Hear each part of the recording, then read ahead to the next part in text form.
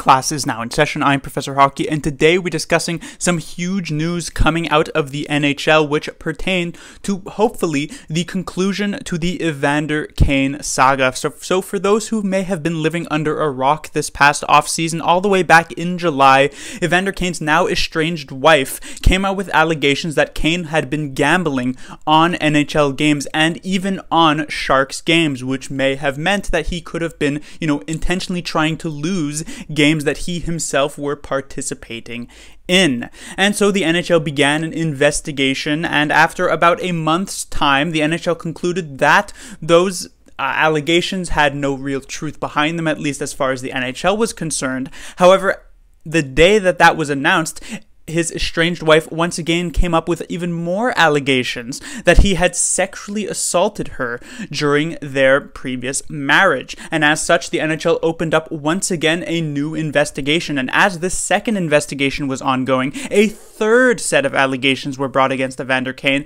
that he had violated the NHL COVID protocol rules by sort of, I guess, forging his own uh, vaccination card that said he was vaccinated even though he actually wasn't. And so finally today we got a conclusion to both of these ongoing investigations. When it comes to the sexual assault allegations brought by his estranged wife, the NHL has concluded that those allegations cannot be substantiated and so no further comment will be made on those and there will no be there will be no penalty against Evander Kane in that regard. However, when it comes to the COVID violation, the NHL has concluded that that indeed did occur and as such Kane has been suspended 21 NHL games for this season and will only be eligible to return to the Sharks roster by the end of November, which would normally be, you know, not great news for the Sharks, but at the very least, he wouldn't be suspended for that long of a period of time. However, a lot of Sharks fans have kind of had their opinions on Evander Kane flipped.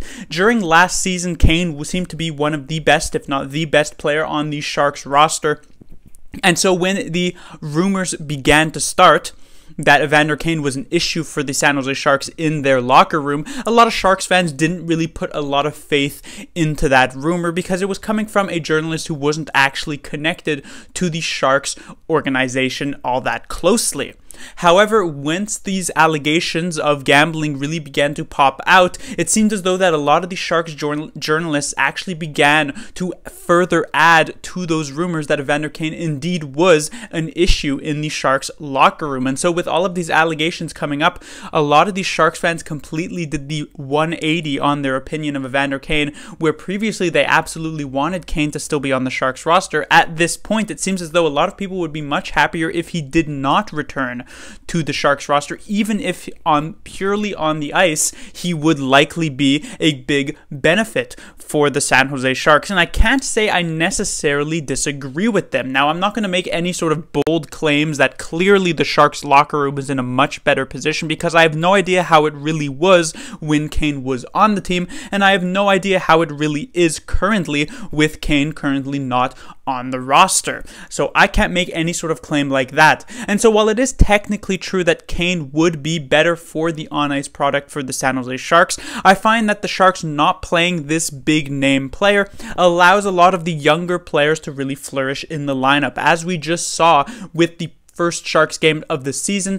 Dahlen looked quite good on that first line. Of Eklund, maybe not looking that great on the second line, but is definitely beginning to make a name for himself at the NHL level. And when you toss in Evander Kane, who would obviously fill in a spot in the top six, suddenly you're having to move down an Eklund or you're having to move down a Jonathan Dahlen, which maybe by the time the end of November rolls around might be an actual sort of good thing to happen, but currently it is not looking really like a good thing. So even at the time where Evander Kane is eligible to return to the roster, do I think he should actually be brought back in and put into the lineup? Well, I'm not really sure.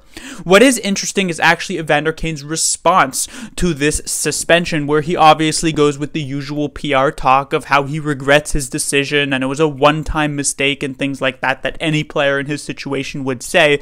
But the thing that concludes his statement is that he says that once that suspension is over, he looks forward to returning to the ice and making an impact for the San Jose Sharks. So he clearly fully expects to be back in the lineup once his suspension concludes. And I don't know if that's just him having that confidence that that's going to happen, or if maybe someone in the Sharks organization told him that that indeed is going to happen once the suspension is over. I'm not entirely sure, but it is quite telling that he would add that at the end of his statement. And so if the Sharks do end up sitting him out, you know, it's not necessarily the end of the world because they don't necessarily need that $7 million of cap space uh, because right now there's not really much moves that can be made during the season. However, Evander Kane does still have three other years left past this one on this contract. So if you're not going to play Evander Kane for the rest of this season, you almost certainly wouldn't play him in the following year. And so your only option is to try and maybe trade him, which would be insanely difficult at this point,